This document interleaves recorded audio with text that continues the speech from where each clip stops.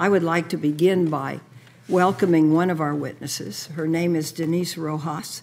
She's a DACA recipient, and she has an incredible story to share with this committee. I am so proud of her and her accomplishments. She's here from Mount Sinai Medical School uh, in New York City, and I've just learned that the dean of the school is also here to uh, witness the hearing, and I believe his name is Dr. Muller, so I want to say welcome uh, to him. Um, I also want to point out that a Fox News poll has shown that 83% support the pathway to citizenship for illegal immigrants, and particularly, uh, particularly overwhelming majorities favor granting work permits. 86%, 12% oppose, and U.S. citizenship, 79%, 19% oppose to illegal immigrants under the age of 30 brought here as children, provided they pass a background check. This is higher than anything I've seen on health care or tax reform. And um, I, I, hope it means something to the men and women of this body. Um, the last nine months must have been a roller coaster of uncertainty and fear for young Denise Rojas and the rest of these young people. There are anywhere from 699,000 to 800,000 in, enrolled in the DACA program who came to America at a very young age through no choice of their own. I do want to point out and commend Senator Durbin.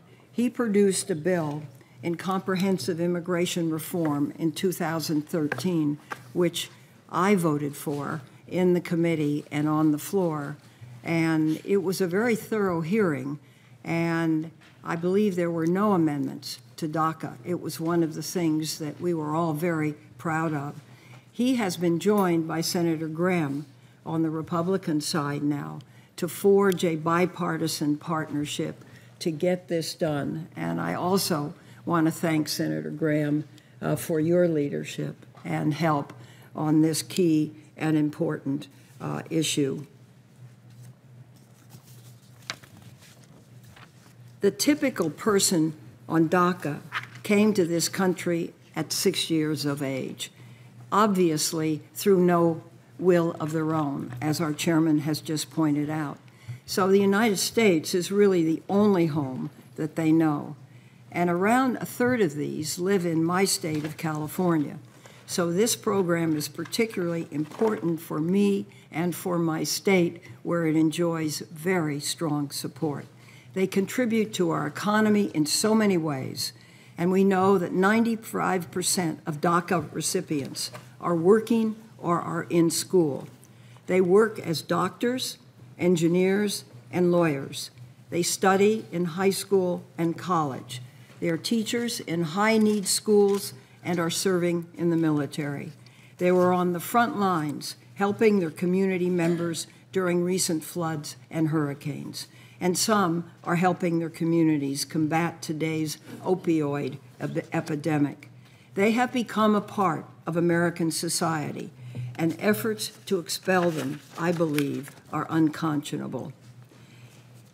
It's not just California.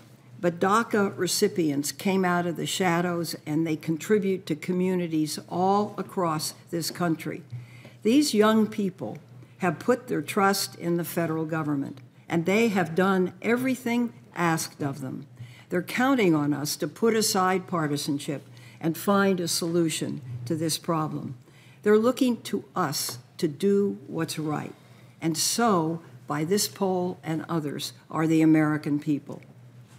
I'd like to quickly share the story of just one dreamer I met in August, Vianney Sanchez.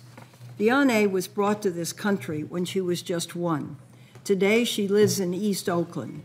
She is a 23 year old graduate from UC Santa Cruz with a degree in psychology. After nearly 23 years in this country, her parents were recently deported. They had no criminal records. They paid their taxes and they owned their home, where I met the family. Her mom worked as an oncology nurse at Highland Hospital, and her dad worked as a truck driver. They paid their taxes.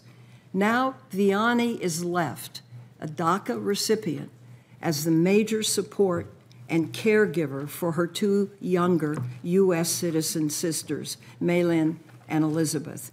And she's facing the uncertainty that she too could lose protection and be deported.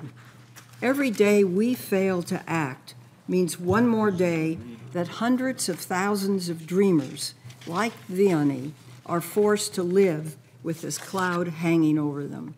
No family in America should be forced to face this fear and uncertainty at the hands of their own government. So I hope my colleagues will join me in supporting Senators Graham and Durbin in passing the clean Dream Act. These youth should not be political footballs. They shouldn't be asked to choose between their future and their families, and they should have the certainty of permanent immigration status. I have received literally hundreds of letters in support of the DREAM Act, which I ask, Mr. Chairman, be inserted in the record. Without objection, it'll be inserted. Thank you. I also want to take a moment to recognize members of the Congressional Hispanic Caucus who are in attendance today. Uh, Mr. Chairman, I uh, appreciate the time, and I thank you.